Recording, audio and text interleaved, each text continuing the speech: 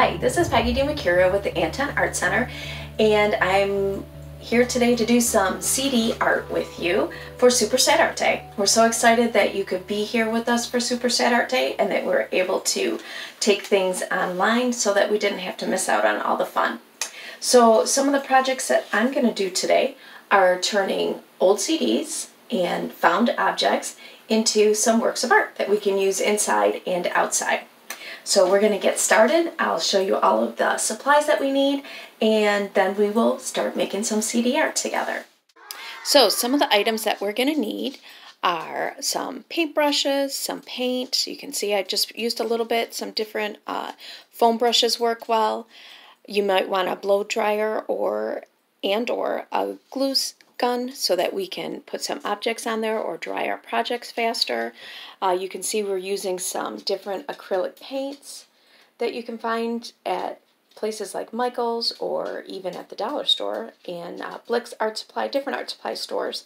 The E6000 paint, or I'm sorry, E6000 glue that uh, we can use to stick objects on metal, like our CDs. There's some more paint options that we have, some beads. I've got water and different types of uh, paint brushes, foam brushes, so that we can do different shapes. And lots of fun Sharpies, paint pens, chalk pens, and glitter pens. I've got some scissors and some fishing line and yarn that we can use to hold us, and some very old CDs that we're going to turn into new art. If you have a CD that's got some words on it and you want to have a nice background with it, you can just take some paint and a brush and then just set it up like this so that you can have a blank palette to work with. And it can either be, and even though um, those letters were dark, the white paint is taking care of that. So this is acrylic paint uh, the craft acrylic paint that you can get, like I said, from Michael's or other crafts supplies and even the dollar stores. If you do want your item to be used outside, then uh, you have to do some extra steps to make sure that it's waterproof. But you can do it inside with just the acrylic paint. Similar to when we paint rocks. Let me put that one aside, let it dry. And I have two CDs that I've already put together that were one black and one white I painted yesterday. And then we're also going to use one of them just uh, plain so that we can use the Sharpies and I can show you how that's going to turn out. So I've got some water here, so I think I'm going to dip my white brush in there already. We don't need much paint, as I said because it goes a long way. So we've got black CD and I'm going to just do something easy with some polka dots on here. So I'm going to take this one and start off with some pink polka dots.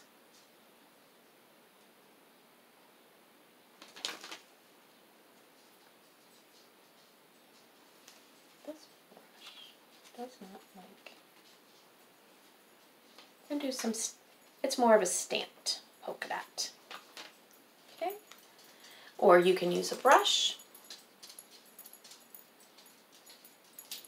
and do some freeform polka dots and draw them on there.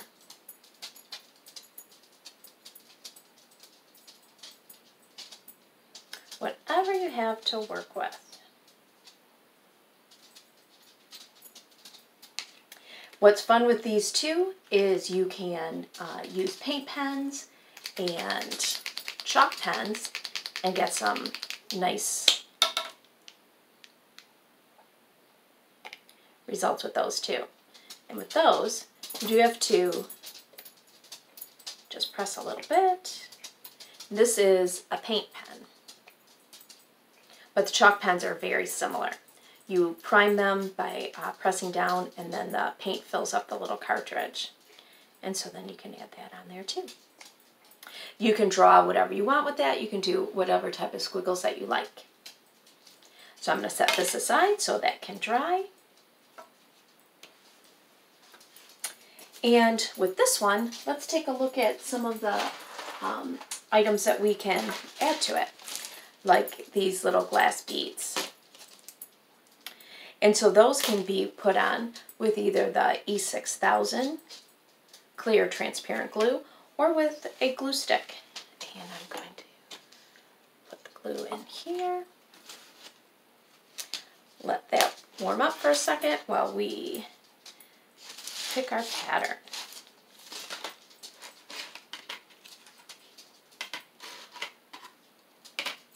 take the glue off. And we'll just do some of these on here for now. So you just put them in your spot you want them to be. You're going to put your glue stick. Oops.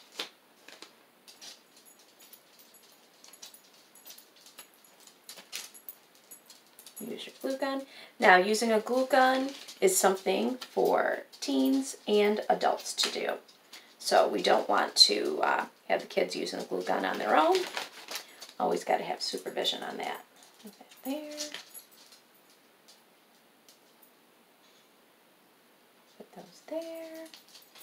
And this one here. So that's nice with the glue gun is that the projects dry much quicker than the E6000. Got a little bit of wiggle room to move things around if you'd like to.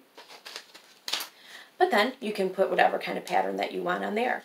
Then you can go back through to take off any glue strands that you have, but you can add um, more color with some other items in here too. Like I like this is a glitter pen that I got, a glitter marker it's called, at um, one of the dollar stores. I think Dollar Tree is usually where I go. And then these you can just use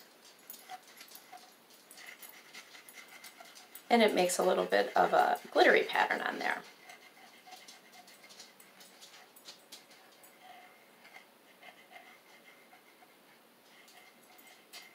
And you could always go around if you wanted to add some more color. You can add more color around and add more pattern into this as well. We'll put this one aside.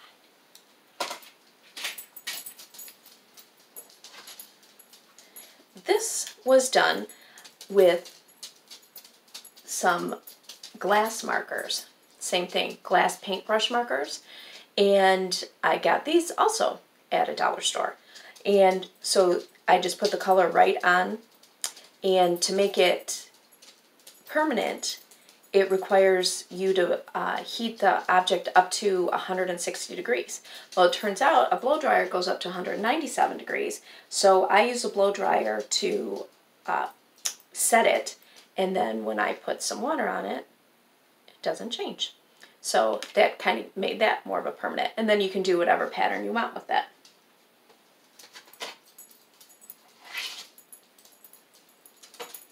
Once you have your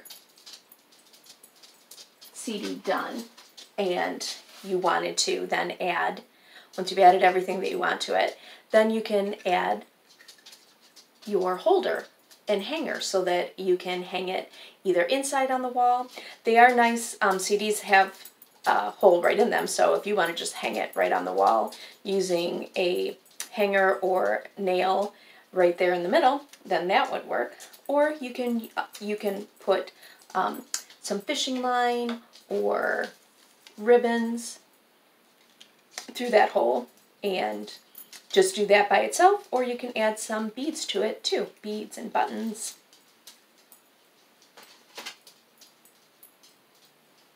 If your project still needs to dry a little bit, as I was saying, we can use our, um, put your blow dryer down on cool and start off with low you can dry that paint a little bit more.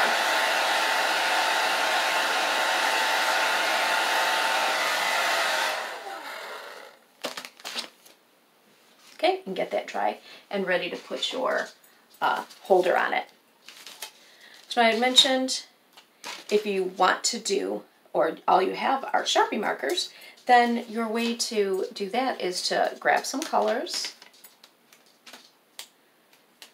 You want to make sure that there's um, the permanent markers uh, so that the color stays and whatever pattern you put on stays and doesn't uh, get wiped away with what the regular markers that are washable won't stay on this.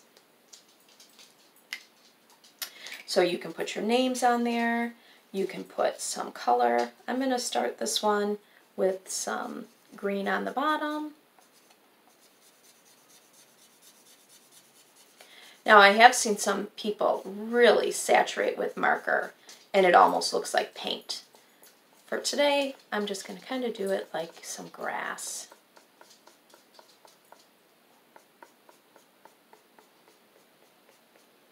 And I do love flowers and trees, so I'm going to do some stems and a leaf. And then add in Yellow doesn't stand out too much against there, so let's go with some brighter colors. Let's do a red flower.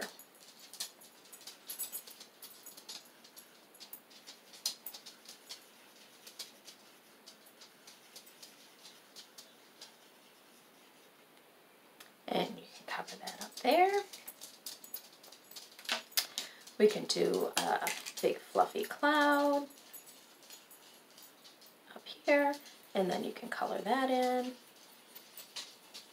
You can do word out. You can really do anything that you want to do on your CD. Make it any pattern that you want.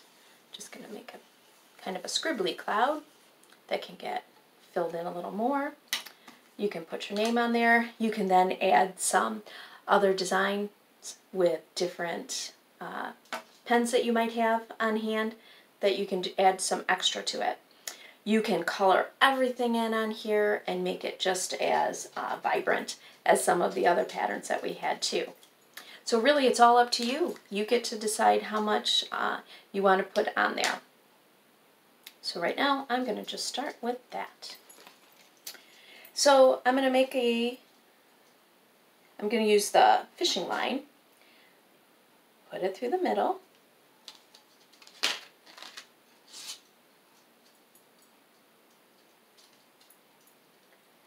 and I'm going to tie it at least once so that it stays in place and when I put the beads on they're not going to fall.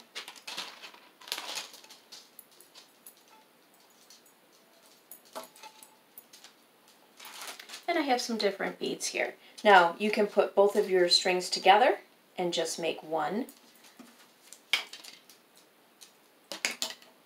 straight. I'm going to put this here and these are some paper beads, which are also fun to make because you can make any colors you want using all kinds of paper. Put that in.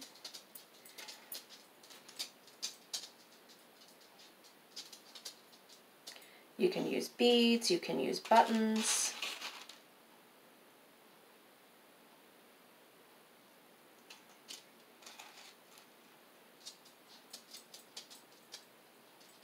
These would be fun to uh, make. You can put your name on here. I'm going to put mine on here. I think I'll do it with some glitter.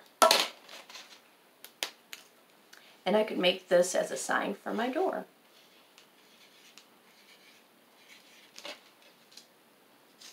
there. And now we're going to tie a double knot at the top in a little loop so that you can, we'll do a loop here, so that you can then hang that on a hook or a nail, do want?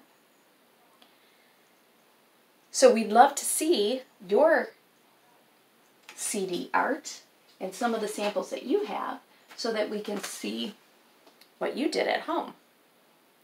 So here's some of uh, my other examples. This project is great because you can use your imagination and whatever type of supplies that you have on hand and just create something that's fun and expresses yourself. So thanks for checking in on Super SatARTday today and also for checking out the CD art video. Hope you had a good time and enjoy the rest of the program. The Anton Art Center would like to thank the following businesses and organizations for their financial support of Super Saturday Day activities. Presenting sponsor, First State Bank. Supporting sponsor, Consumers Energy. The Michigan Humanities Council. The Michigan Council for Arts and Cultural Affairs. The Kresge Foundation. The Community Foundation for Southeast Michigan, and the National Endowment for the Arts. We would also like to thank our partners, the Discovery Center, the Detroit Institute of Arts, and the Metropolitan Detroit Chorale. Learn more about the Anton Art Center and our partners at www.theartcenter.org and make a donation to support our mission to enrich and inspire people of all ages through the arts.